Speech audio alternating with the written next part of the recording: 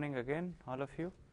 Uh, so today we will uh, continue on the um, derivation of uh, the non-dimensional form of uh, the Navier-Stokes equations. Uh, particularly we are interested because as we said as I said before the course deals mostly with two dimensional incompressible flows so therefore if you um, I think in the last class I just gave you the non-dimensional variables which we are putting into the dimensional Navier-Stokes equations. And uh, if you plug in I leave that as a nice exercise.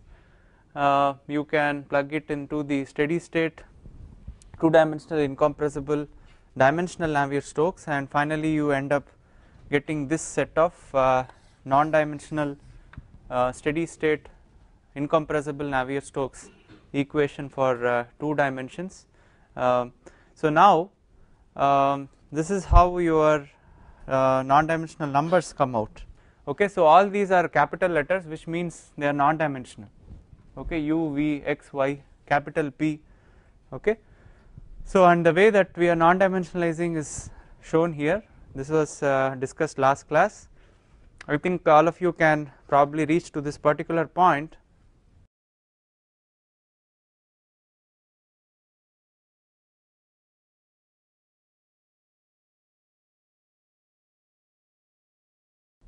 Now the following non-dimensional numbers are propping out of this uh, particular uh, non-dimensional set of equations. Okay so we will discuss the non-dimensional numbers which are coming out of this.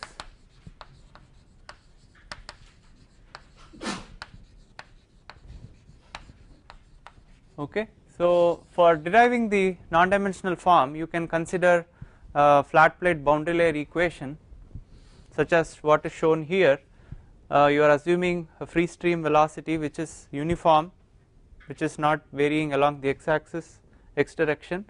And uh, you have uh, also a temperature boundary condition which is applied to the flat plate. So this will induce you know a thermal boundary layer developing along with the momentum boundary layer okay? So the thermal boundary layer thickness is delta t function of x. Your momentum boundary layer thickness is delta which is also function of x so this is how the velocity and temperature profiles at any location will appear okay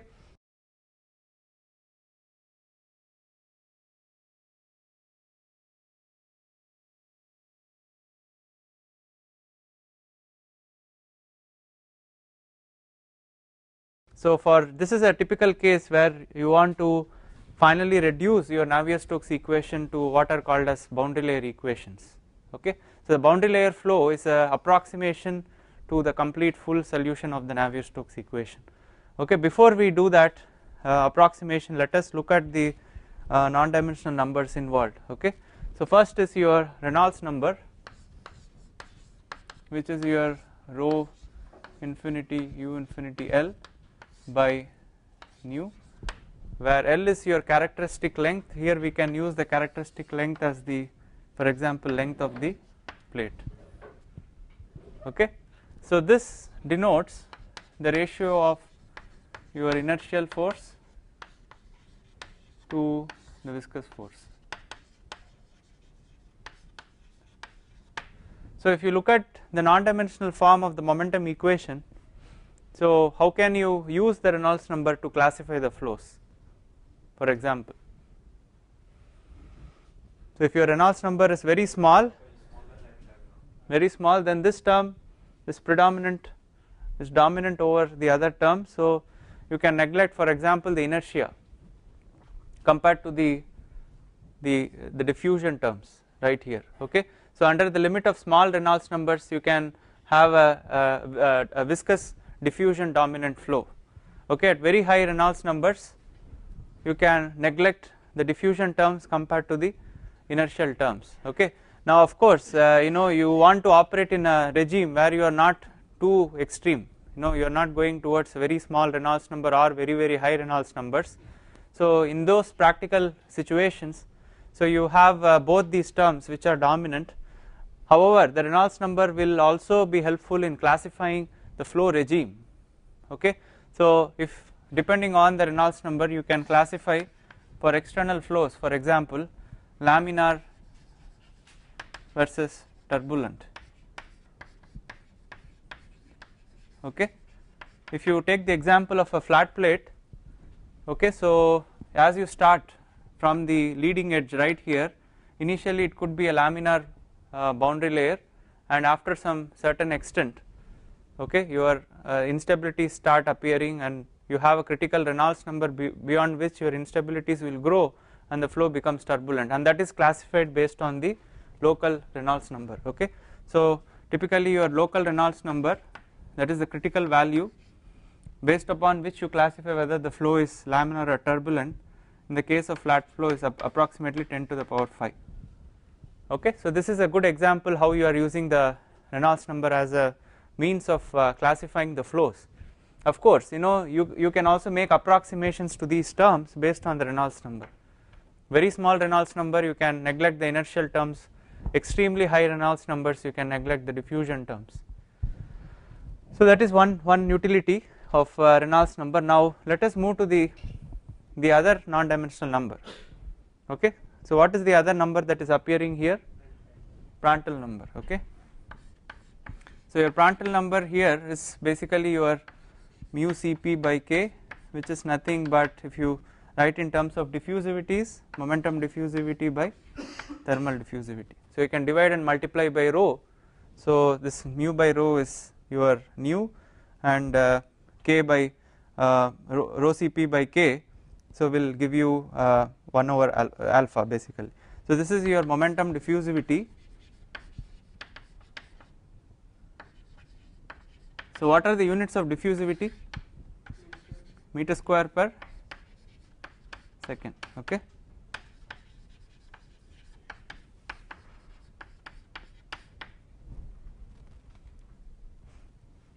Okay, so now the Prandtl number is a very very useful parameter especially when you have flows with heat transfer okay. So Prandtl number appears in the energy equation along with the Reynolds number.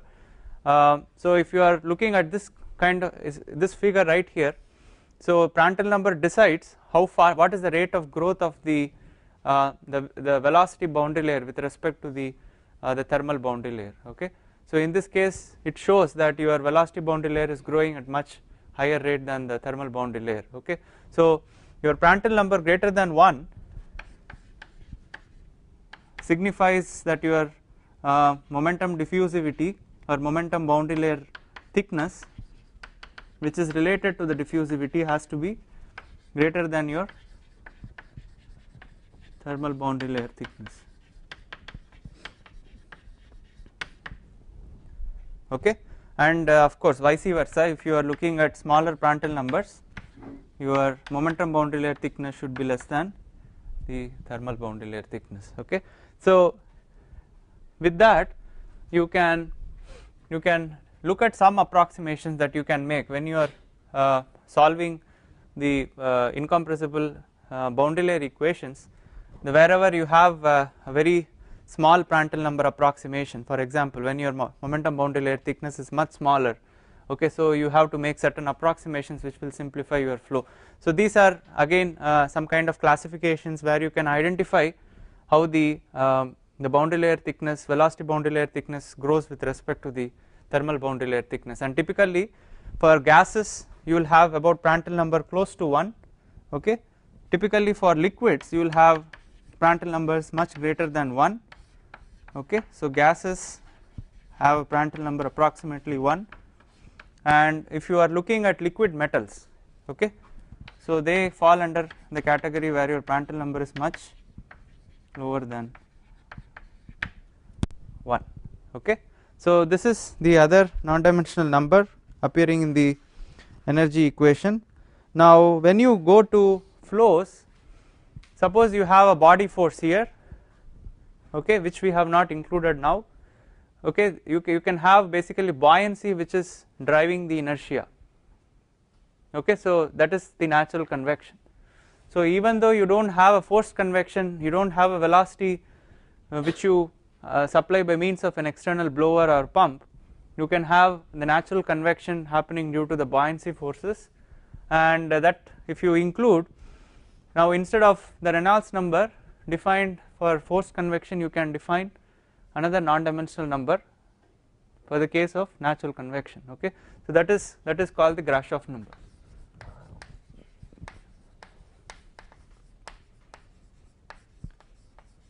Okay so strictly speaking I have not included here but if you include the external buoyancy and non-dimensionalize it you get a number which is nothing but gr by re square the ratio of Grashof number to Reynolds number square. That is also called as Richardson number.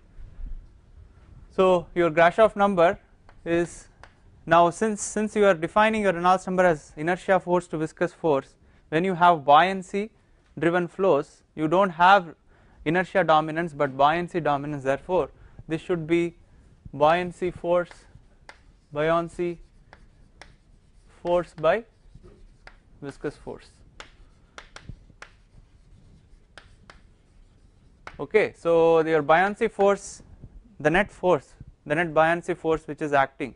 So it's basically your uh, uh, force acting downwards due to the weight of the fluid the gravity minus the force which is acting upwards due to buoyancy. That is the net force okay? So that is uh, rho minus rho infinity you can say into acceleration due to gravity. So if you replace uh, the Boussinesq if you replace the density difference apply the Boussinesq approximation and replace it with temperature difference. So you can write it as g beta into T minus T infinity. So this is your uh, force per unit volume. So if you want to convert it as force, so that will be uh, multiplied by L cube divided by the viscous force which is nu square. Okay, so this is the uh, exact way that you calculate your uh, Grashof number once you know the temperature difference and um, your coefficient of so this is your uh, 1 by rho d rho by dt okay?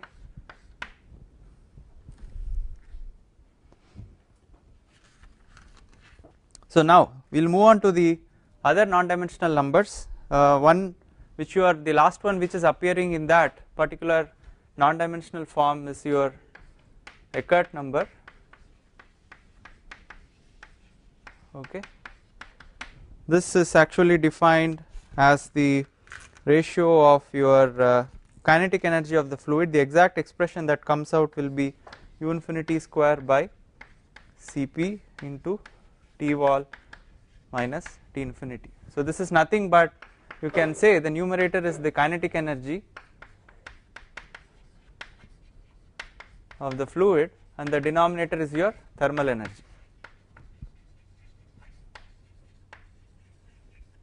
So what it means is if you have a high Eckert number okay so a portion of your kinetic energy actually gets converted into the thermal energy okay so this is uh, especially true if you have high speed flows okay or if you also have uh, very high viscosity dominated flows there you have a lot of viscous dissipation effects coming into picture and uh, a portion of the kinetic energy is converted into thermal energy. So even though if you if, if you maintain this wall as adiabatic okay so due to this viscous dissipation effects you can have a temperature profile okay so the temperature profile can set in essentially because of the Eckert number which is coming into the viscous dissipation term alright. So this is uh, these are some of the non-dimensional numbers we will go ahead and define uh, one or two more which are important for heat transfer although they are not appearing in the governing equations we will use them very routinely. So one is your Nusselt number yeah I think uh, this should be so we characterize the uh, heat transfer rate by means of a non-dimensional number okay? So which is which is usually used in convection and that is called the Nusselt number. The Nusselt number you can define based on the heat transfer coefficient which is dimensional multiplied by the length divided by the thermal conductivity. And where your heat transfer coefficient is defined as minus k dt by so this is your heat flux at the wall divided by in this case T wall minus T infinity okay. Now if you use the non-dimensional temperature based on this definition right here can you tell me what will be the Nusselt number in terms of the non-dimensional temperature gradient you can plug in for the non-dimensional form into the dimensional form and then you can finally calculate your Nusselt number in terms of non-dimensional temperature gradient. Hmm? It's a nice exercise I think you can just try out, I will give you a couple of minutes. Yes? So what should be the expression? Dou okay into L by K. Now I want to calculate the Nusselt number. Can thermal conductivity cancels and you can also write in terms of non-dimensional Y. Hmm? LL cancels. So that will be minus capital Y at capital Y equal to okay. So this is the advantage of casting in non-dimensional form your uh, expression gets much simpler alright. So now you understand why we define Nusselt number in this particular way. If you have a dimensional form of heat transfer coefficient which is uh, related to the temperature gradient your Nusselt number is exactly nothing but your non-dimensional temperature gradient. Okay? And uh, if you look at the physical significance of Nusselt number you can also write your Nusselt number you can multiply the numerator and denominator by uh, T wall minus T infinity. And you can write this as K into T wall minus T infinity by L. Okay. So this is nothing but what? What is the numerator here? This is your convective heat heat flux by hmm, conduction heat flux.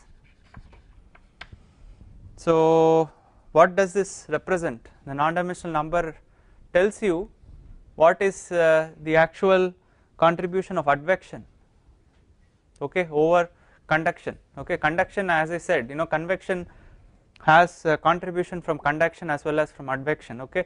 So if this number is greater than 1 okay so if it is equal to 1 then there is no contribution of advection okay so the heat transported from the wall to some distance okay let us say some L okay. In fact I should not maybe use L here let me use some H okay. Just to give you a non-dimensional uh, physical representation of this non-dimensional number so it tells you if you have a fluid element vertical distance of h from the flat plate okay. So you are calculating what is the contribution of both advection and conduction over conduction. Okay? If that value is equal to 1 so it means that all of this is happening only by conduction. Okay? And if it is greater than 1 you know that uh, there is advection which is helping in the transport of heat.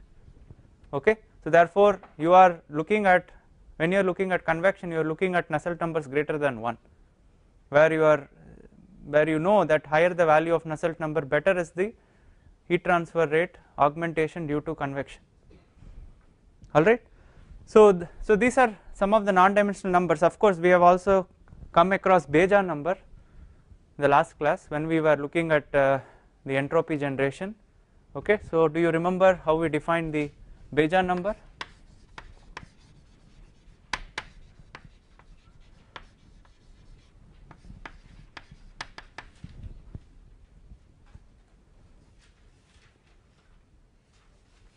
in fact I have also given one one problem in your uh, assignment to calculate the irreversibilities due to viscous dissipation and yeah.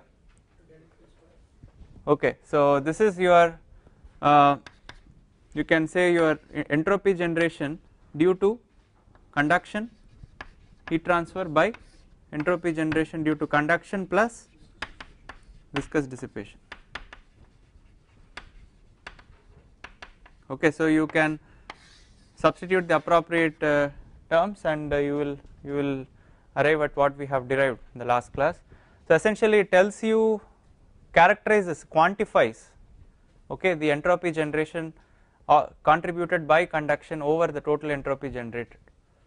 Okay so this is a very useful number. Okay so so far entropy generation people have been talking about qualitatively but now you can calculate the actual values from conduction from viscous dissipation that is the friction of the fluid which is uh, generating entropy and you can actually calculate the contribution of each and then you can take the ratio and that gives you the Bejan number. So these are some of the non-dimensional numbers I think more or less if you know these non-dimensional numbers these will keep coming through the rest of the course okay. So I think most of the non-dimensional numbers are covered. You know you know you won't need anything apart from these numbers okay.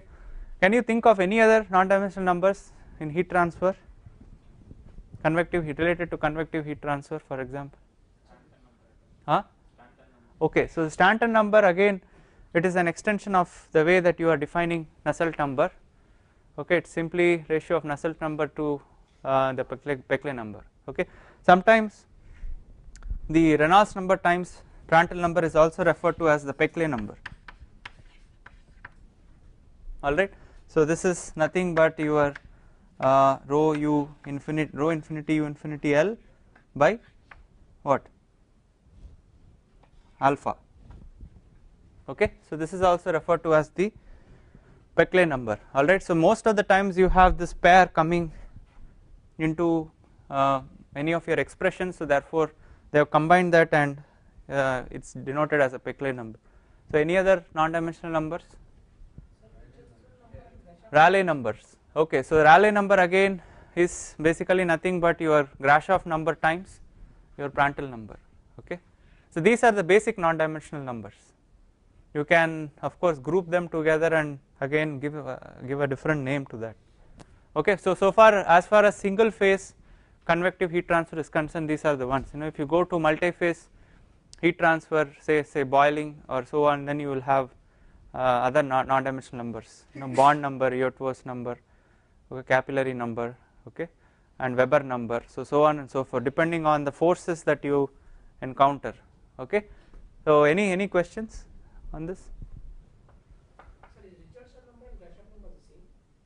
Richardson number is again as I said it, it, you if you group your Grashof number by RE square and you group them together as another non-dimensional number that is called as Richardson number okay k disappeared this is oh so this is HL by K, so K K should cancel. I think it's uh, I think it's straightforward, right? K K K cancels. If you already here from H, if you divide it by K, K K directly cancels. Okay. So now what we will do next is to uh, we will use the non-dimensional form from here we will go one step forward as I said we will approximate the uh, Navier-Stokes equations to much simpler set of equations which we can for which we can find analytical solution. Okay? So that we will do for this particular boundary layer problem. Okay? So we will look at what what we call as boundary layer approximation to the Navier-Stokes e equations. Okay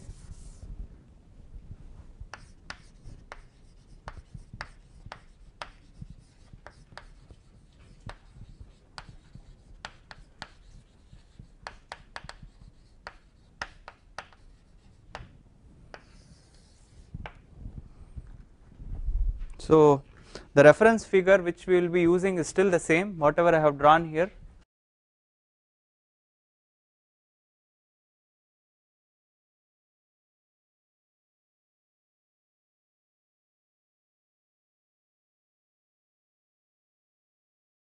We will be taking uh, any boundary layer flow. For simplistic uh, reason you can assume that the free stream velocity does not vary with the axial location but uh, it could also vary. Still the boundary layer approximations are valid. Okay?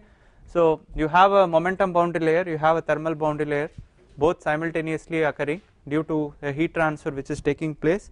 We will start with the non dimensional form of 2D incompressible steady state Navier-Stokes equation and from here we will apply the scaling analysis okay. So when you want to reduce uh, this full equation you want to neglect some terms so for that we have to understand the order of magnitude of each of these terms you know. So there has to be a particular way that you are doing it. So this is done by the order of magnitude analysis.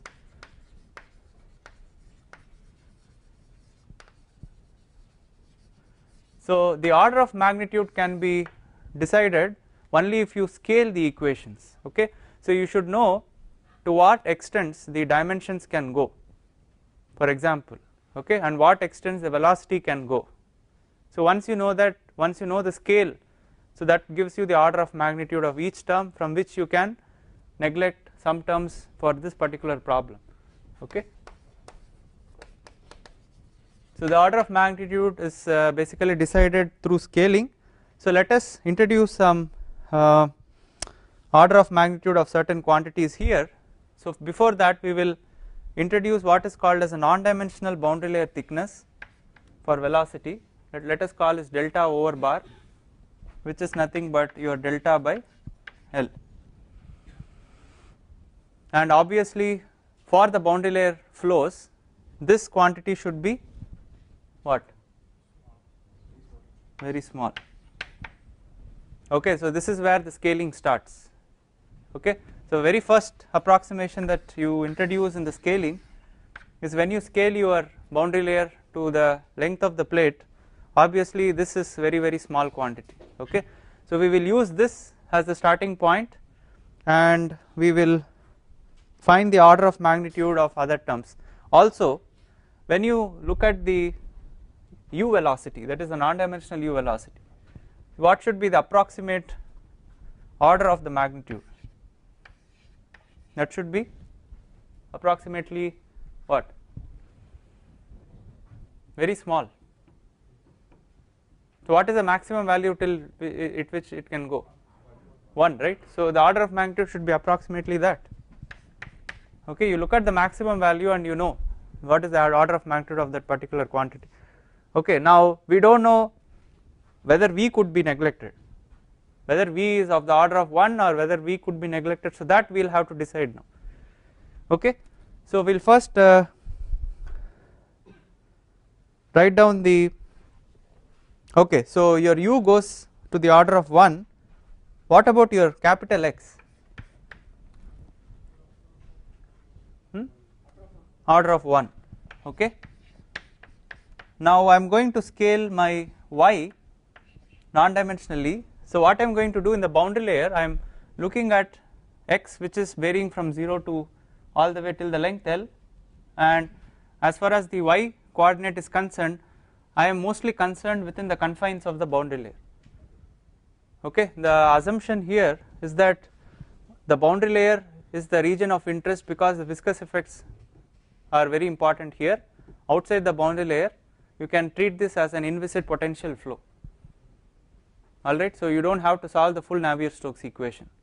So therefore I will confine my domain to the extent of the boundary layer. So my in that case my y extent should be of the order of delta yes. So this should be of the order of delta bar which is of course much lesser than 1 alright okay so I will start with uh, the, the terms one by one now now you can tell me what will be the order of magnitude of du dx. So u is of the order of magnitude of 1 x is of the order of magnitude of 1 okay? So this will be of the order of magnitude 1 now how about d square u by dx square? That is nothing but d by dx of du by dx. So already this is of order of magnitude 1 divided by 1 so this should also be order of magnitude 1 okay? So similarly we will do that in all the directions. So you have du dy. So u is of the order of magnitude 1 y is of the order of magnitude of delta. Okay? So therefore this will be order of magnitude of 1 over delta. Okay similarly your d square u by dy square will be order of magnitude of 1 by delta square.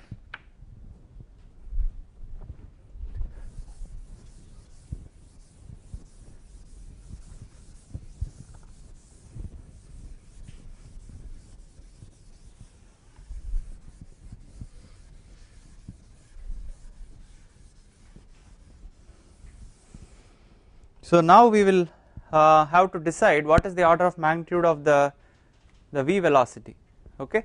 So that we cannot directly hypothesize. So we have to use the continuity equation okay?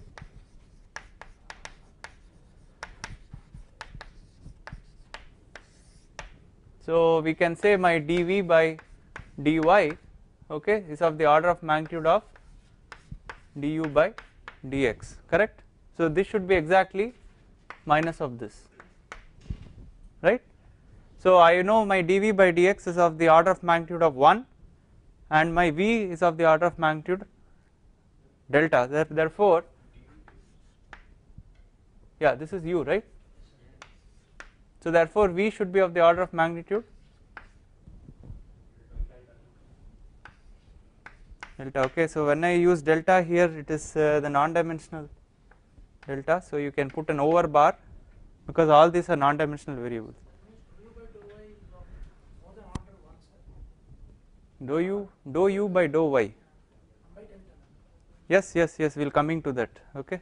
We will come. So first we just write down and then we will later see which order of magnitude is higher which of the terms are uh, probably more important than the other terms. So therefore we know uh, so your dv by dx now should be what? What should be the order of magnitude? And your d square v by uh, dx square again delta. So d square v by dy square delta by delta square 1 by okay so so you have all the derivatives okay? So we will just substitute into the equations one by one and you know the order of magnitude okay? So let us start with the continuity here. So this will be of the order of magnitude 1 by 1 right? This is of the order of magnitude what is the order of magnitude of v? Delta by delta. So both are of order of magnitude 1 okay? So of course because we have only two terms and the two terms should balance each other right? So they are both of the same order of magnitude. So coming to this term use u into du by dx. So u is of the order of 1 by 1 now here this is of the order of delta by delta. We do not know the order of magnitude of this okay? But you can quickly see that the order of magnitude of these two are same which is of the order of magnitude 1 therefore in order to balance this should be of the order of magnitude. Okay. Now coming to this d square u by dx square this is of the order of magnitude 1 upon 1 plus this is 1 upon delta square. Okay. Now therefore if you compare these two terms since your delta is very small naturally this term has to be much more significant than this term right. So you can say that you can neglect this term directly okay. So therefore if you neglect that term so what should be the order of magnitude of Reynolds number such that all the terms have now the same order of magnitude delta square 1 over delta square okay so therefore from here your Reynolds number should be of the order of magnitude 1 over delta what square or delta. So what does it mean? So now this puts a constraint on the Reynolds number. So my delta is much lesser than 1 so therefore my Reynolds number should be so only for this particular case this approximation is valid. So whenever I look at boundary layer flows I am looking at very high Reynolds numbers okay. So now coming to this uh, second the y momentum equation. So what, what is the order of this delta by 1 and this delta square by delta okay. So now so this you can see is of the order delta and delta therefore this should be of the order delta. Coming to these two terms you have this is delta by 1 plus you have delta by delta square. So this is 1 over delta this is delta. Okay so which is a more dominant term? 1 over delta. So which we can this neglect and we already know the Reynolds number should be of the order of 1 over delta square. If you put that you will find that now all the terms are of the order of delta. Okay? So all the terms in the y momentum equation are very small. Already your delta is very small right? So therefore you can safely say that you can neglect all the terms without making much difference alright if you are operating at higher Reynolds number all the y momentum terms are extremely small of small order of magnitude. Therefore what comes out of this particular analysis the order of magnitude analysis is that so number 1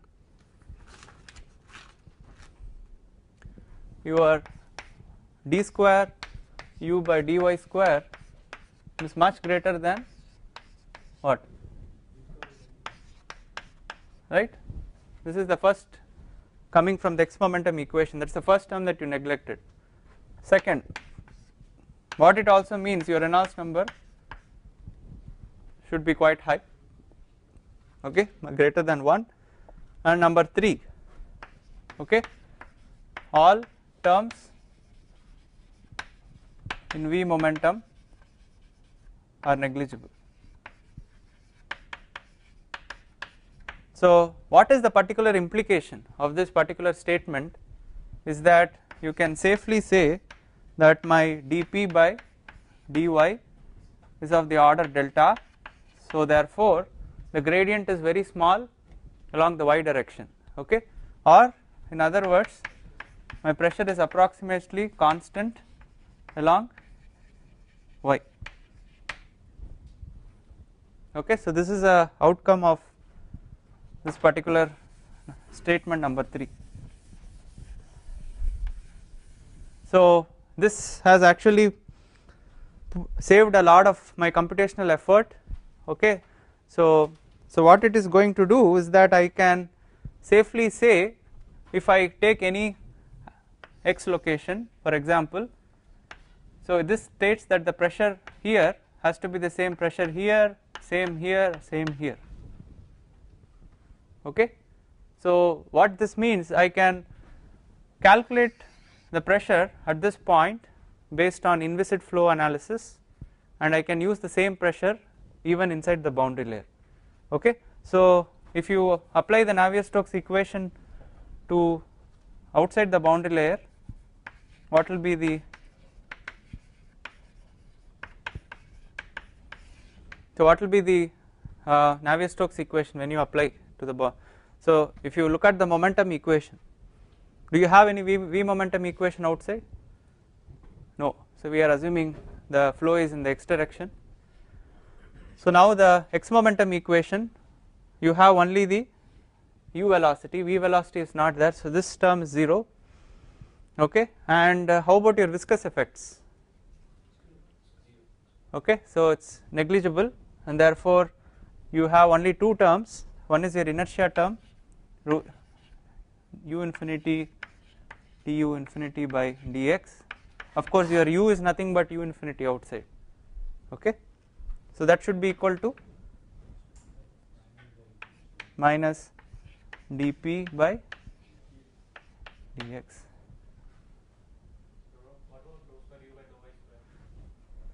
Rho square see all of this are nothing but your viscous effects okay so if your viscous effects are negligible outside in the free stream so therefore you can safely neglect all of these alright. So now based on this we can calculate dou p infinity yeah because in this case it does not matter p infinity and uh, your p here they are going to be the same. So you do not want to differentiate your free stream pressure from the pressure inside the boundary layer okay.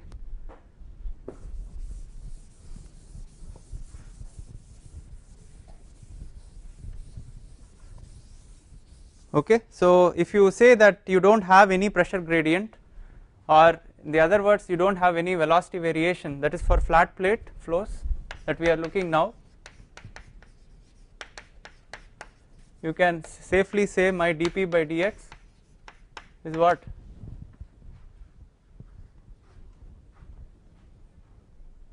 hmm? 0 because my velocity free stream velocity is not going to vary okay. So for cases where your free stream velocity varies so if your free stream velocity is a function of x you can have two kinds of flows one if you have adverse pressure gradient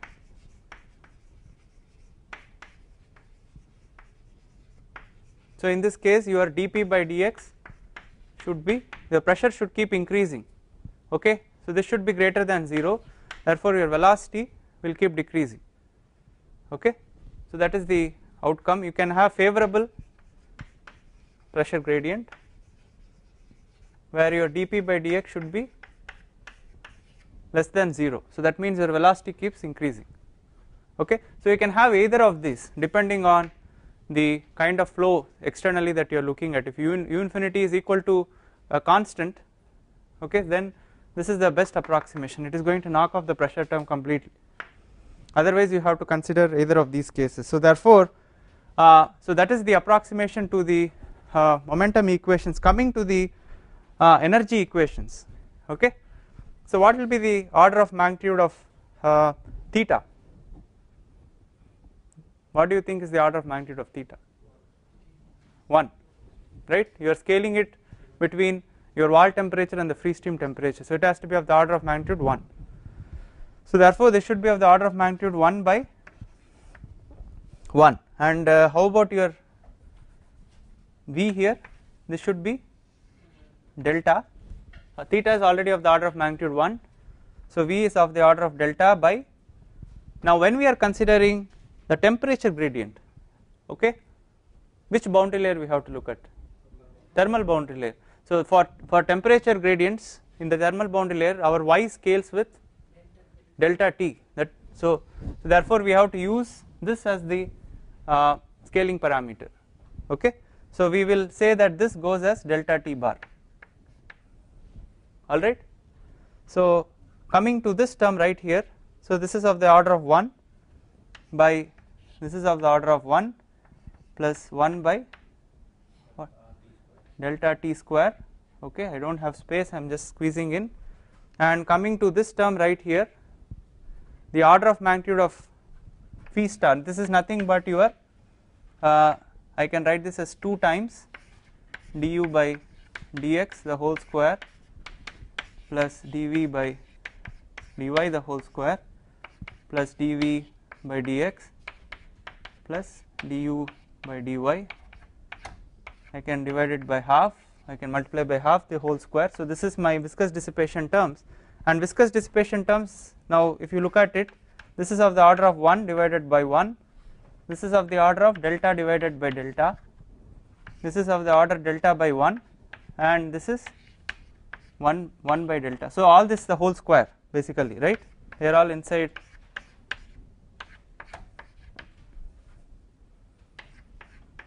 so now which are the terms that we can neglect?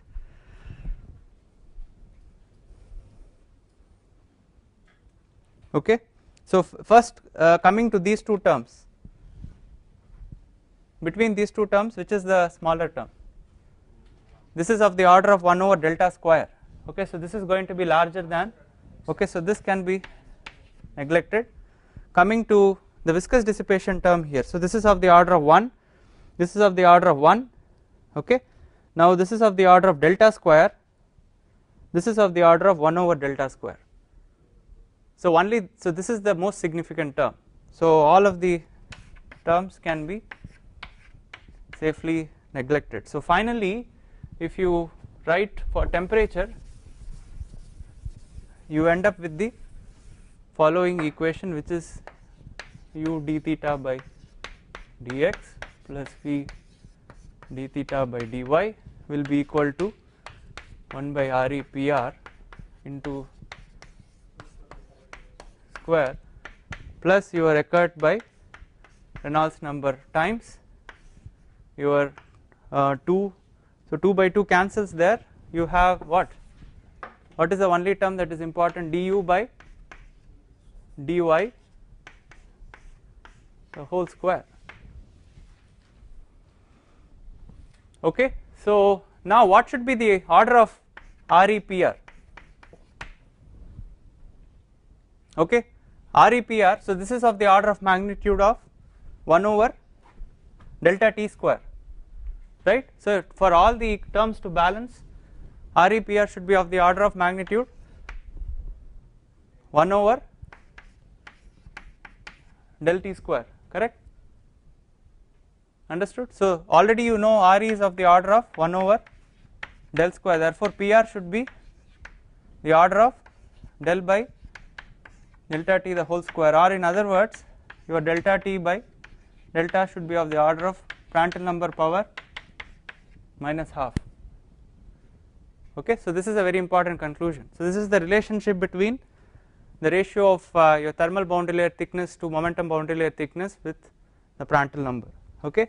And what should be the order of magnitude of Eckert number by Reynolds number? So if you look at this term this is again 1 over delta t square right?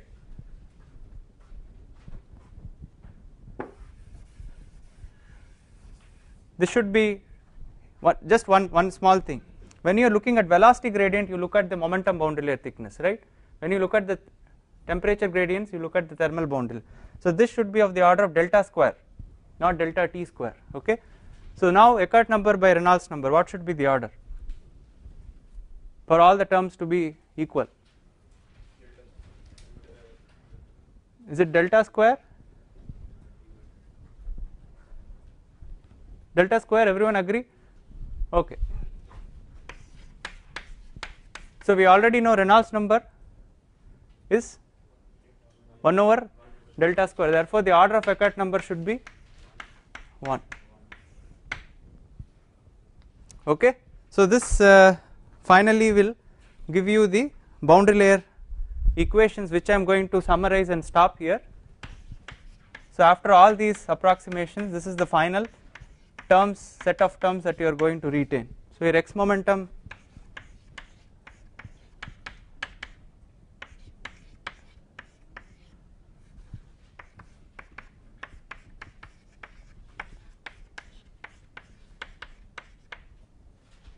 of course for a flat plate you can also have uh, you won't have this term but for favorable and adverse pressure gradients you can have dp dx and your energy equation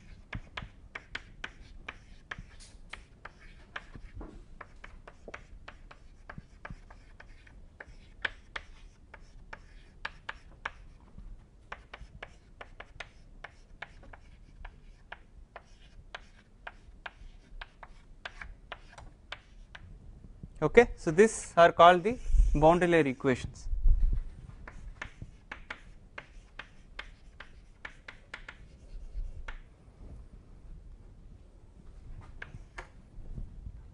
Okay so any any questions? Uh, I think I had been a little fast in the end but I think you can uh, fill up the I think we did almost you have to just go and revise okay how we have introduced the order of magnitude and we have uh, skipped all the terms. The important conclusion now you have a direct relationship between the ratio of your uh, thermal and the momentum boundary layer thickness to the Prandtl number.